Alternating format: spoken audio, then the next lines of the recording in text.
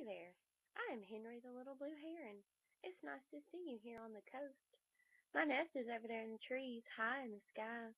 I'm about to go and catch dinner now. Would you like to join me? I'm having a small fish that I'll catch near the water. I can find you something too if you'd like.